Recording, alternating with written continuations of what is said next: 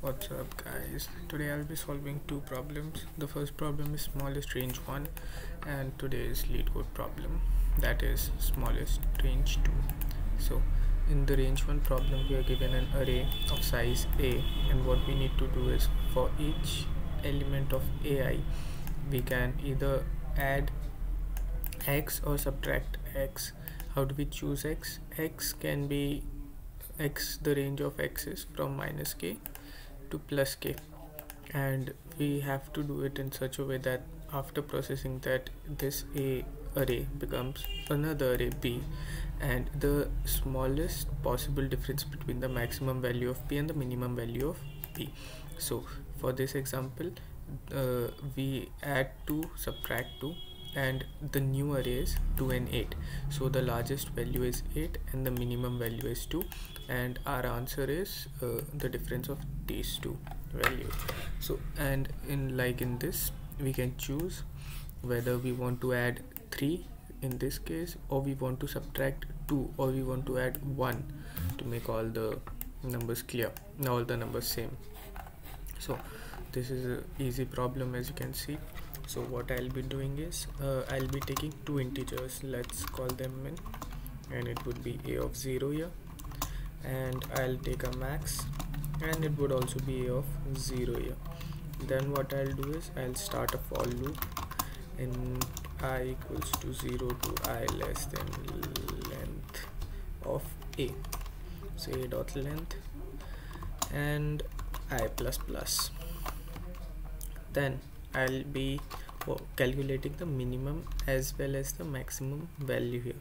So how will I calculate the minimum value? I'll first min equals to math dot min of either it is the minimum value itself this or uh, it could be the new value which we are forming. So a of i minus k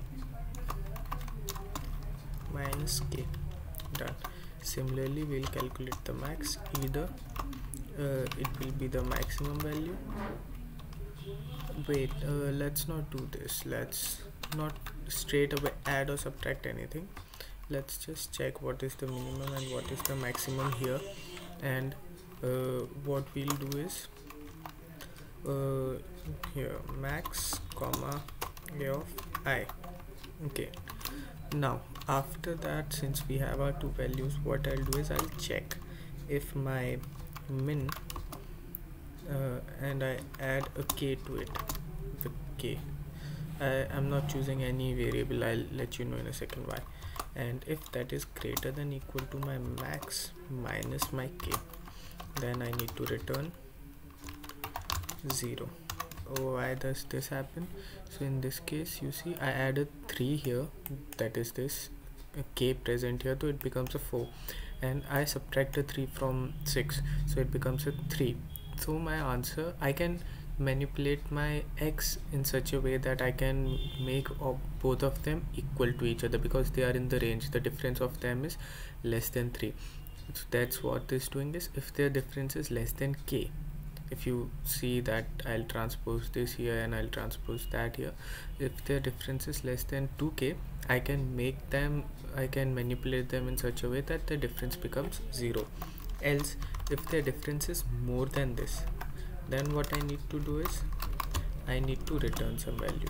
What can I return? Now I know this is greater than this. Uh, I know that for sure because the above loop loop didn't run and we were asked to visit the lower the else part of the if condition. So the condition is false clearly. And I'll subtract my min plus k from it. And done. And done. That's all I believe it should run. And let's see. Yeah it's accepted for this. Let's submit and see. Um, it works fine.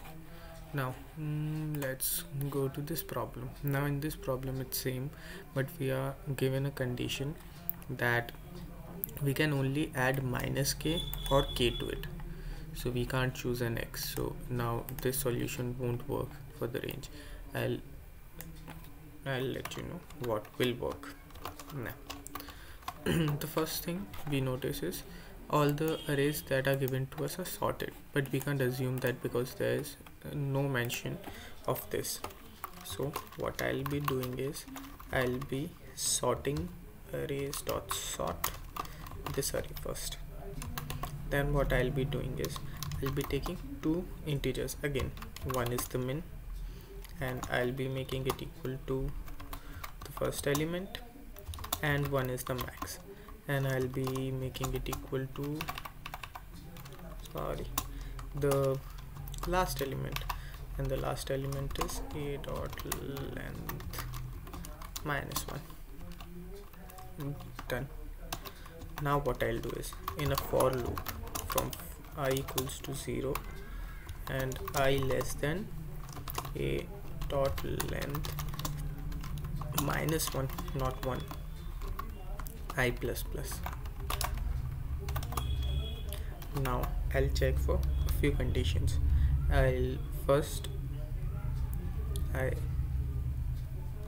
uh, actually I don't need to do that. I don't need to declare two variables here. What I can do better is I can subtract this and this would be my result. Let's call it a result and I'll add this. And I'll subtract this. So 0 minus this plus this. Uh, it's better if I do it the convenient way and not the way around. Okay done. Now what I want to do here is I want to check for my uh, let's create a min and a max here and max. Now what I want?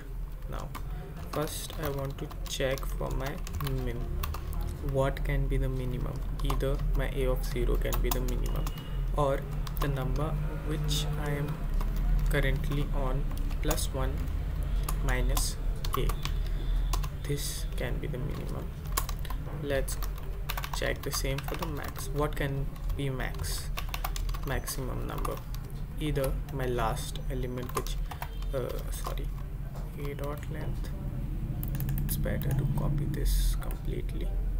The element which I consider to be the max element here this or comma the element which I'm currently on and we add k to it. But we need to subtract k from we need to add a k to this. And we need to subtract k from this. To give, give these two equal opportunities we can start our loop from 1 also but it does not matter if we check for zeroth condition also. So we are checking for the first the last and the all the consecutives numbers in between. Now what I want my result to be is it should be the max minimum result so my result will be math dot min of what? Of the difference of max and min. And my result. Whatever is smaller will be returned here. And at the end I would want to return my result there. And I hope I haven't spelled anything incorrect there. And it works finished for here. If it's length 0 it won't even enter the loop and it will simply return 0 because we have already initiated this step and accepted. So these were the two problems guys and it were they were really simple for today's contest. Hmm. thank you guys